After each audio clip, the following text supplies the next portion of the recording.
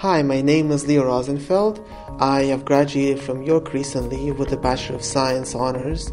Uh, this coming fall, I'll be heading over to University of Western Ontario for medical school. My interest in science started quite early on. I always wanted to learn how things are done and why things are made. And of course, it helped that my parents have scientific background too. My mom has a master's in chemistry. My dad is in computer science, so before I even knew how to read properly, I was already touching computers and doing all that kind of fun stuff. It shaped me as a person because I was interested in that. So, slightly later on in life, uh, people get sick all the time. Unfortunately, my grandmother got um, a more severe disease. She had a form of cancer uh, several years back, and that got me interested a lot in medicine. How does medicine actually manage to help people? So I read up stuff on microbiology. Uh, I read up a couple books on that, and I felt like maybe that's something that I want to try out with my life. I feel medicine is one of the biggest applications of science. It's allowing us to live longer, to live healthier, and allows us to make better life decisions as well.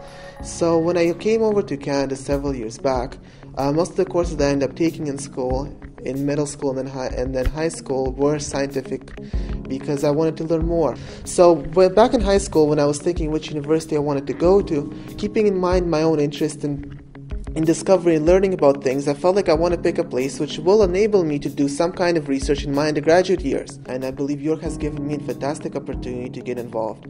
I've held several research positions over the past several years. I've done some volunteer work. I held a paid research award during one of the summers, and I've done my honors thesis, even though for me that was optional.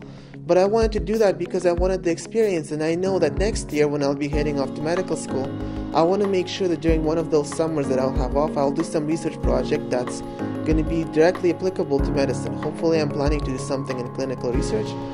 For me, it's always been about interacting with with other people, with objects, with whatever it is, you know, to learn a little bit more about them.